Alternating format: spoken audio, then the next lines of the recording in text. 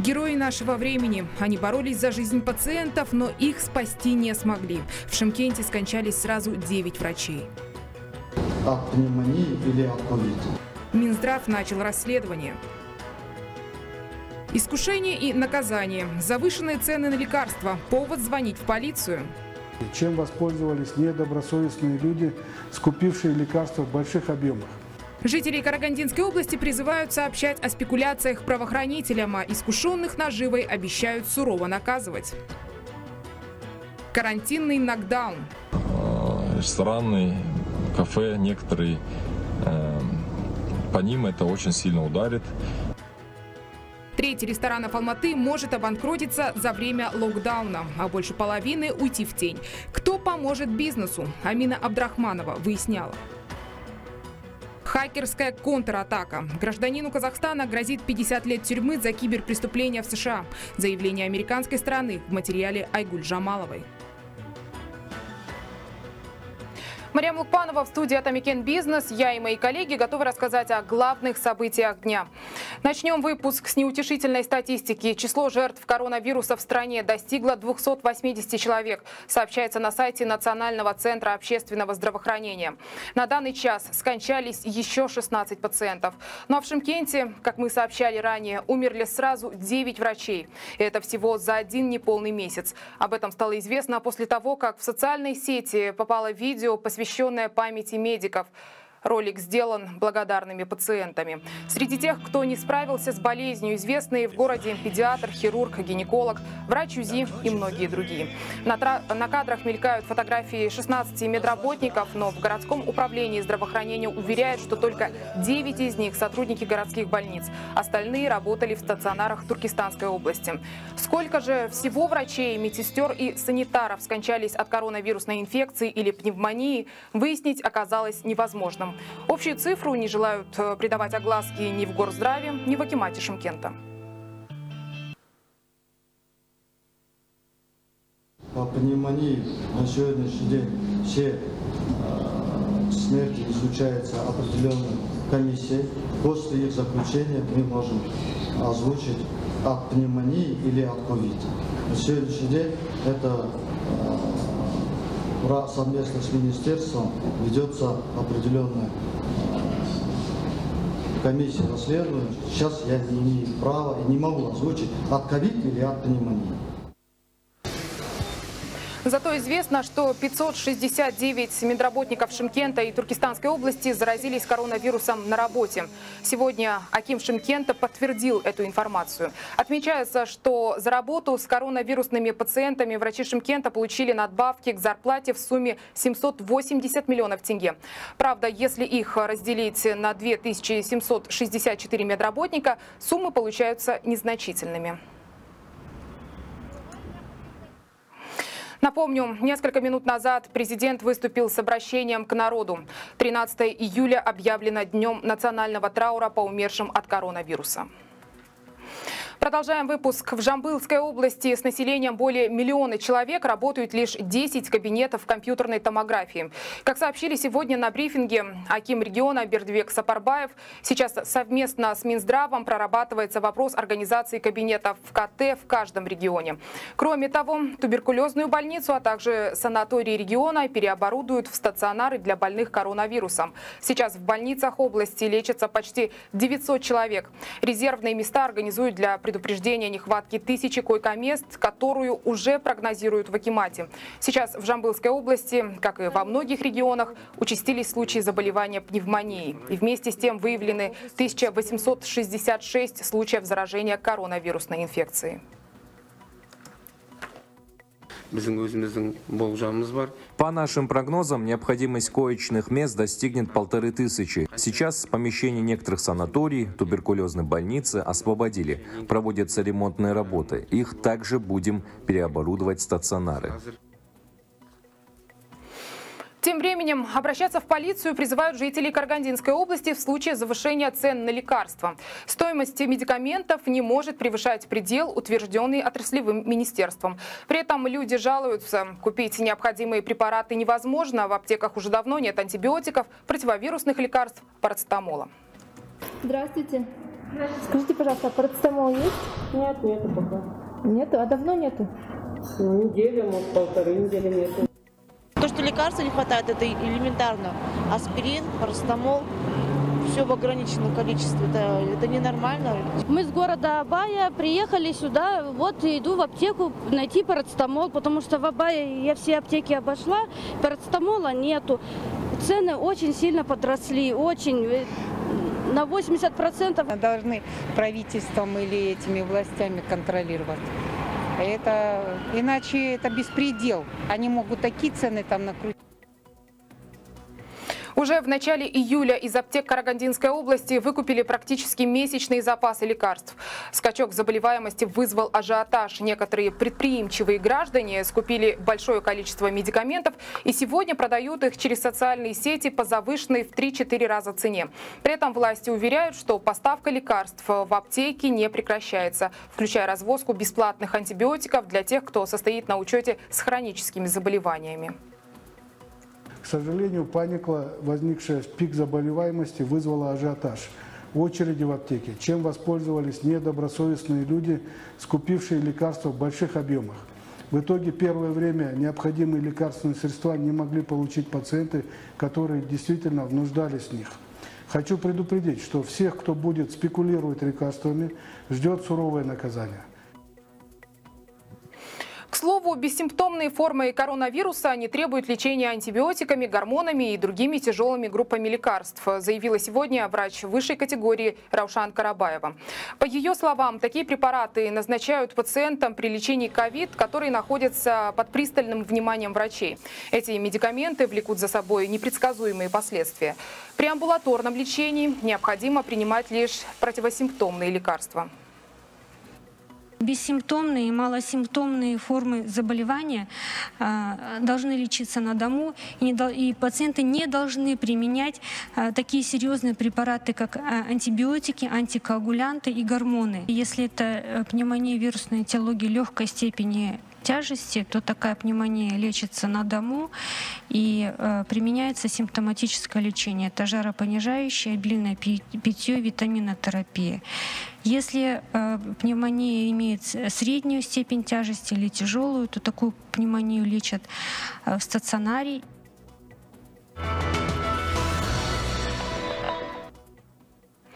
На борьбу с пандемией COVID-19 правительство Казахстана выделило почти 192 миллиарда тенге, сообщил первый вице-министр финансов Берег Шолпанкулов.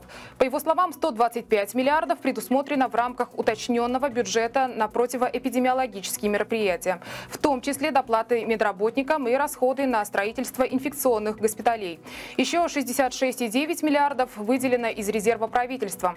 Большая часть, а это 46,5 миллиардов тенге, приходится на Минздрав. Остальные транши направлены Министерству образования и науки, МВД и Минобороны. Напомню, общий пакет господдержки с момента режима ЧП составил порядка 6 триллионов тенге, не считая налоговых преференций и поддержки на местном уровне. На текущую дату на борьбу с пандемией из республиканского бюджета выделено 191,9 миллиардов тенге. Из них в рамках уточнения бюджета 125 миллиардов тенге, из резерва правительства 66,9 миллиардов тенге. Данные средства имеют строго целевое направление и контролируются с момента проведения государственных закупок и до перечисления данных денежных средств до конечного покупателя. Конечно же, еще есть контроль Министерства здравоохранения, который через Комитет по контролю качества медицинских услуг осуществляет контроль как предоставляются услуги больницами. К слову, не менее интересно, сколько денег потратили различные страны на поддержку граждан и бизнеса в период пандемии. Сравнительный анализ на основе открытых данных вошел в исследование аналитиков «Большой четверки». Документ опубликовала аудиторская компания KPMG, которая нередко оказывает консультационные услуги и крупным казахстанским холдингам. В какой стране богатые не получили от государства ни гроша и с каким условием правительство Великобритании выдало беспроцентные кредиты бизнесу, расскажет моя коллега Диана Merhaba. США оказались мировым рекордсменом по сумме, затраченной на поддержку граждан и бизнеса в период пандемии. Дональд Трамп распорядился потратить порядка 3 триллионов долларов на спасение экономики, а именно полмиллиарда на финансирование предприятий, пострадавших от пандемии, плюс еще полмиллиарда на разовые выплаты гражданам. Малый бизнес в Соединенных Штатах получил льготные кредиты, и если владельцу своего небольшого дела удастся сохранить штат сотрудников, то государству он деньги может не возвращать. А вот Германия, меньшая по территории численности населения, чем США, потратила ни много ни мало порядка полутора триллиона долларов, следует из анализа KPMG. Там среднему и крупному бизнесу дали отсрочки по налогам, расширили социальные пособия и выплатили зарплату всем уволенным сотрудникам в размере 70% от утраченных доходов. В Италии, где вспышка коронавируса весьма сильно пошатнула не только здоровье населения, но и экономику, на антикризисные меры потратили почти 760 миллиардов долларов. Власти решили приостановить выплаты по ипотечным кредитам, а также дали компенсацию пострадавшим предприятиям и безработным. Поднебесной стране, где и произошла первая вспышка, потратили намного меньше, чем в Италии. К примеру, китайские власти предпочли инвестировать 400 миллиардов долларов в развитие инфраструктуры. Льготы предоставили лишь для медицинского сектора и логистическим компаниям, говорится в исследовании. Всего в Китае на антикризисные меры потратили 610 миллиардов долларов. В Великобритании и Франции антикризисные меры госбюджету обошлись 400 и 450 миллиардов долларов соответственно. Основная сумма у французского правительства ушла на госгарантии по банковским кредитам малому и среднему бизнесу. В Соединенном Королевстве отличились тем, что выдали бизнесу беспроцентные кредиты. Но с учетом того, что они дадут возможность правительству покупать их краткосрочные долговые расписки. Но речь идет только о компаниях с высоким кредитным рейтингом и хорошим финансовым состоянием. В исследовании также рассмотрели расходы Южной Кореи. Там, например, денежные выплаты получили все, кроме богатых. На фоне всех этих стран позиции у России и Казахстана весьма отличаются. Соседняя страна направила на антикризисные меры порядка 30 миллиардов долларов. Ну и, наконец, наша республика задействовала в основном деньги из резервного национального фонда будущих поколений. 14 миллиардов долларов, согласно отчетам правительства, ушли на отсрочки, льготные кредиты, разовые выплаты и финансирование сельскохозяйственной отрасли. Смогут ли эти меры действительно спасти экономику Казахстана, аналитики пока не берутся прогнозировать. Диана Текенова, Тамикен Бизнес. Тем временем Миннацэкономики Казахстана прогнозы делать не боится. По словам вице-министра Мадии Такиева, экономика страны может показать положительный рост по итогам года.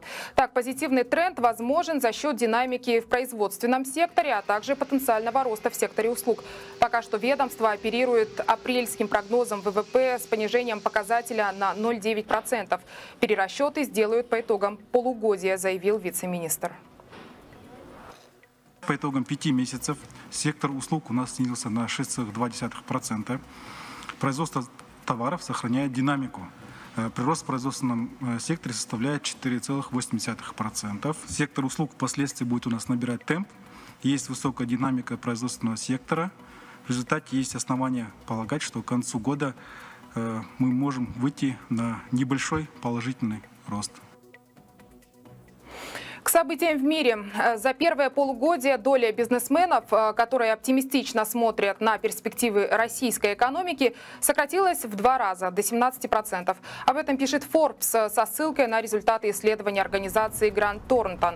Ее представители опросили 5000 руководителей бизнесов из 32 стран мира. В целом же лидерами по доле предпринимателей, которые положительно оценивают перспективы экономик своих государств, стали Объединенные Арабские Эмираты, Вьетнам и Китай. Крупнейшая экономика мира США на восьмом месте. Между тем, национальная нефтяная компания Абу-Даби «Эднак» планирует увеличить экспорт нефти в августе. Это первый сигнал к тому, что ОПЕК и ее партнеры готовятся к ослаблению рекордных сокращений добычи сырья, сообщает Рейтер. Напомню, страны, не входящие в картель, с мая снижают показатели почти на 10 миллионов баррелей в сутки. Все потому, что пандемия коронавируса привела к снижению мирового спроса на черное золото. Согласно прогнозам, в 2020-м объем потребления может упасть до 93 3 миллионов баррелей в сутки. Между тем, ожидается, что добыча нефти в США в этом году сократится меньше, чем ожидалось. Показатель составит 600 тысяч баррелей в сутки. А вот гражданину Казахстана Андрею Турчину, известному в хакерском мире под псевдонимом FXMSP, грозит до 50 лет лишения свободы. Его обвиняют в сговоре с целью совершения компьютерного взлома, а также в кибермошенничестве и хакерстве. Соответствующая информация появилась накануне на сайте Департамента юстиции Вашингтона. Выяснилось, что в 2018 году группа Турчина установила постоянный доступ или так называемые черные ходы к сетям а, жертв, которые они затем рекламировали и продавали другим киберпреступникам. А в декабре того же года Андрей и его сообщники совершили киберпреступление, жертвами которого стали сотни компаний в 30 странах на 6 континентах. К слову, а, цены за находки Турчина колебались от 2 до 100 тысяч долларов. Теперь, если вина мужчины будет полностью доказана, он проведет за решеткой практически остаток жизни.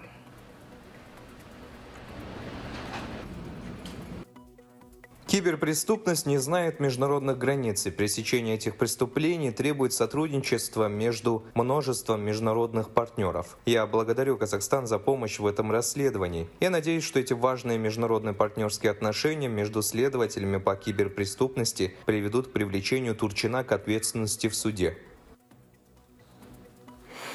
Тем временем почти 8 тысяч кибератак зафиксировано в Казахстане с начала года. Эксперты отмечают увеличение числа нападений именно в период карантина.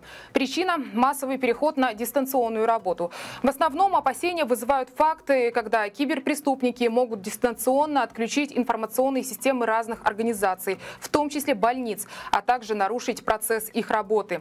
Значительно увеличилось число DOS-атак на 69% а, по сравнению с соответствующим соответствующим периодом прошлого года. В результате нарушается или полностью блокируется обслуживание пользователей. Не менее активно совершаются и нападения с целью похищения банковской информации.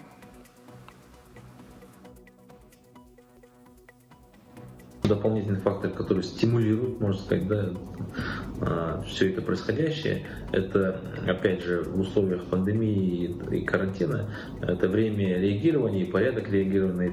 Это. Понятно, что на сегодняшний день а, сотрудникам полиции, правоохранительных органов уже не до этих мелких правонарушений, и можно считать, что а, служба безопасности работает на удаленке, да, компании, да, для них это уже такие нетипичные условия, достаточно сложно реагировать на них. Правоохранительные органы в таких же условиях находятся. И в целом все механизмы, они работают гораздо медленнее.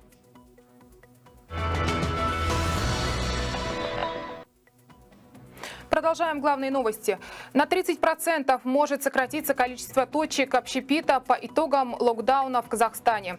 Об этом сообщили в Ассоциации клуба рестораторов страны. Так, э, по завершению ЧП с марта по май с рынка навсегда ушли примерно 20% предприятий. Во время карантина закрылись еще 5%. С какими проблемами столкнулись владельцы ресторанов и кафе, узнала Амина Абдрахманова. Снижение количества персонала, сокращение выручки, переквалификация работы на доставку. Рестораны и кафе Казахстана вынуждены перейти на новый формат с учетом введенных в стране ограничений. Однако положительных сторон, как отмечают бизнесмены, почти нет. Многим из них приходится буквально барахтаться, чтобы как-нибудь остаться на плаву. Сейчас э, общепит испытывает действительно проблемы. Не все арендодатели э, снижают аренду, либо ее вообще убирают. Конечно, не все. Поэтому я думаю, что э, рестораны, кафе, некоторые э, по ним это очень сильно ударит. И некоторые, скорее всего, не смогут открыться после э, карантина, который пока не знаем, когда вернемся действительно к нормальной жизни. Тем временем Ассоциация клуба рестораторов сообщает, что сейчас в Казахстане примерно треть заведений находится в теневом секторе и работает незаконно. У некоторых бизнесменов даже нет санитарно-эпидемиологического разрешения на работу. При этом только в Алматы насчитывается около полутора тысяч нелегальных заведений. Все они вынуждены скрывать свои доходы. В данном случае ограничительные меры э, на 30 посадочных мест не, не должно, в заведении не должно превышать 30 посадочных мест. Если, например, ресторан до пандемии, до карантина обладал 100 посадочными местами, то сейчас она может максимум разместить около 30 гостей. Это значит на 70% снижение э, потока гостей. В ассоциации уверены, что если карантинные меры продолжатся, то больше половины из существующих организаций общепита попросту уйдут в тень, а на рынке останутся только франшизы и сетевые компании. Но даже им, чтобы продолжить свою деятельность, придется дробиться на мелкие организации. Выход из ситуации бизнесмены видят в налоговых льготах, такие как уменьшение ставок НДС и КПН. Кроме этого, предприниматели просят отсрочки по кредитам. Амина Абдрахманова, Руслан Мухамедьяров, Атамикен Бизнес. А вот молочная продукция может подорожать сразу на 9%. Напомню, Евразийская экономическая комиссия выступила с предложением внедрить чипирование молочных товаров для борьбы с контрабандой. Однако бизнесмены и деловой совет ЕАЭС выступают против. В частности, переработчики уверяют, что маркировка потребует больших затрат на закуп оборудования и операционные расходы. Поддерживают их и производители Беларуси, России и Кыргызстана. Самое важное, это скажется на простых потребителях. Около 9% будет удорожание продукции. Это достаточно большое. Тем более наша эта продукция, она социальная. Социально значимый продукт – это продукт, который приобретает, будем говорить так, не самые богатые слои населения. Для чего вводилась маркировка? Для того, чтобы, так сказать, избавиться от фальсификата. Но в молочной продукции фальсификата нет. Э, во всяком случае, э, вот по данным исследованиям, там не более одного-полутора процента. То есть подделывать молочную продукцию. Другой разговор, что э, могут быть продукты, э, отвечающие заявленному, но это никак не связано с маркировкой. К другим темам. В Павлодаре стартовали выборы в региональные советы при Палате предпринимателей Атамикен. Прием заявок начался 7 июля. Документы можно подать офлайн по адресам региональных палат предпринимателей, либо онлайн на сайте vote.atomiken.kz. Кандидатов отберут из числа предпринимателей, зарегистрированных в регионе. Также могут избираться члены саморегулируемых организаций и ассоциаций, аккредитованных в региональной палате предпринимателей. Сейчас выборы. Есть возможность поучаствовать в работе регионального совета. Ничего страшного нету абсолютно. Самое главное, зашел как предприниматель, зарегистрировался, подал заявку, баллотируйся, не вопрос. Даже если вы не пройдете в региональный совет, то двери в палате, они всегда открыты каждому бизнесмену. Ну а в Талгаре 340 семей отпраздновали новоселье в минувшие выходные. В городе сдали в эксплуатацию 6 многоквартирных домов общей площадью свыше 18 тысяч квадратных метров. Как сообщили в городском Акимате, 170 квартир э, предоставлены по кредитной программе «Нурлыжир». Еще столько же получили те, кто стоял в очереди за арендным жильем. О том, как решается квартирный вопрос в регионах, материал Тимура Ермашева. Подарок сделали.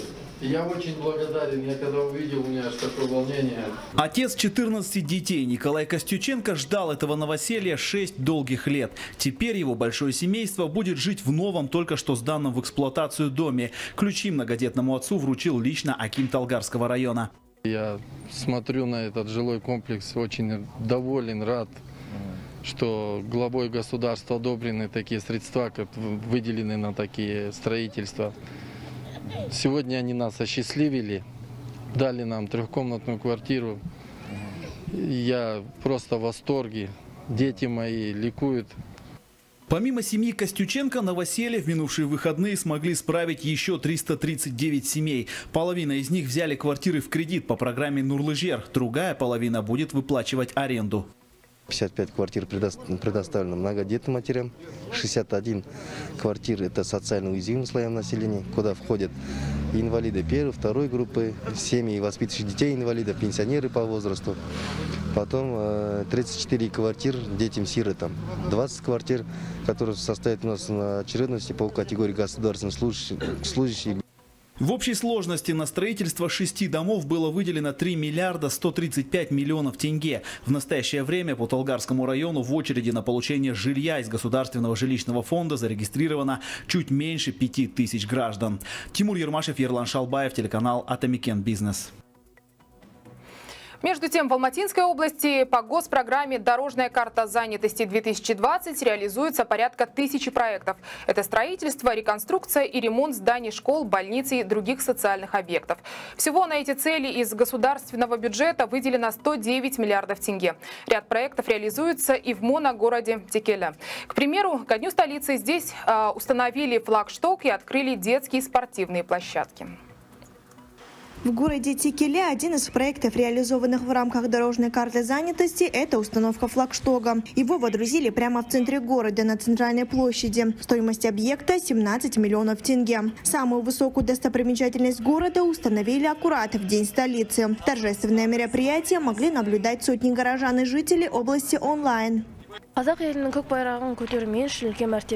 Это большое событие. Наш флаг взвил высоко в небе. Я очень горда, что честь поднятия флага доверили мне. Я надеюсь, что в будущем наш флаг не раз будут взмывать ввысь и на наших спортивных победах по всему миру. В городе ко дню столицы также открыли современную спортивную площадку и ряд других объектов. По словам главы Текеле Бахтияра Унирбаева, всего в городе в рамках дорожной карты занятости реализуется 13 проектов.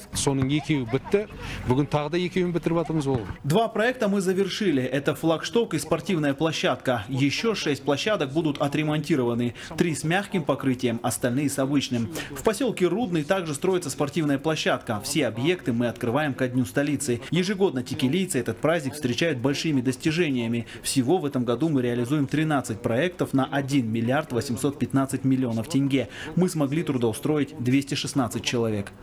Всего в Алматинской области по программе дорожной карты занятости постоянные рабочие места нашли 23 тысячи человек.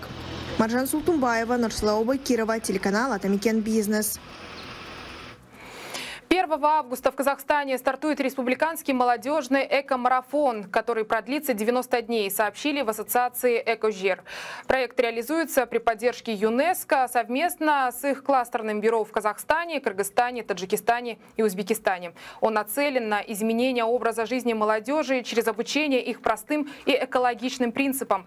Как сортировать мусор, как беречь электроэнергию и как превратить философию ноль отходов в привычный образ жизни. Принять участие Участие в марафоне могут все желающие от 12 до 25 лет.